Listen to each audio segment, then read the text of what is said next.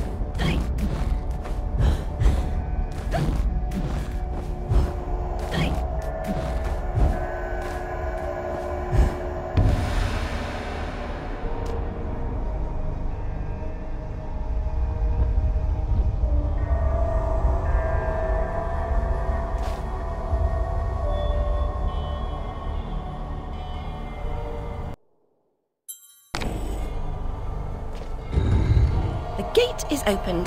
Now it appears that I can continue my ascent to the peak.